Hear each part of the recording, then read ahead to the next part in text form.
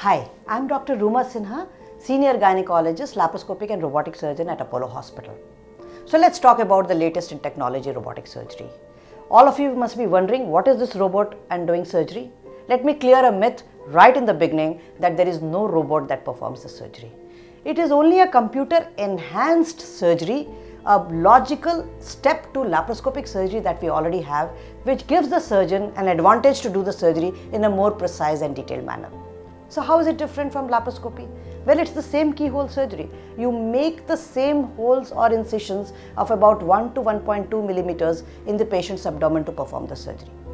The difference between laparoscopic surgery are three or four. Number one, we perform the surgery in a 3D magnified vision. So a 3D vision gives the surgeon the 3D perspective that we get when we do an open surgery as compared to laparoscopy which is performed in a 2D screen. The second advantage is the control of the surgery that the surgeon has. Now in laparoscopic surgery, if you understand, the surgeon has only two hands which they are operating while the rest of the work is done by assistants. So I'm dependent on my assistant to show me what I'm doing, to do some other instruments or do some part of the surgery. While in robotic surgery, we do through a console which gives me a total control. I move my camera, I move my instruments, so the surgeon is in control of what they are doing. The third advantage is that 3D 10 times magnified vision gives you the precision to do a detailed surgery. What does that relate to for you as a patient? The amount of blood loss.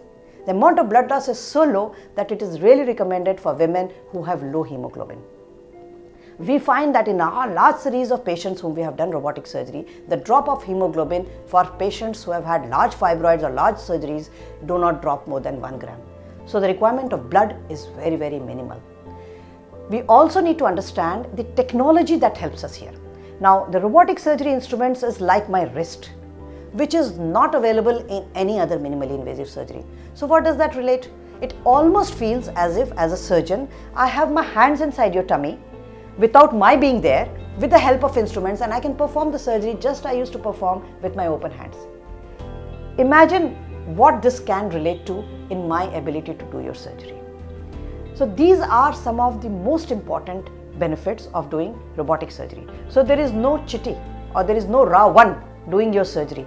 Your surgery will be as good as the surgeon only using the technology to perform better to give you better outcomes.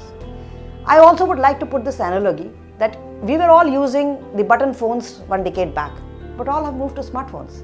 Why? Because of the apps and because of the technology helping us do better.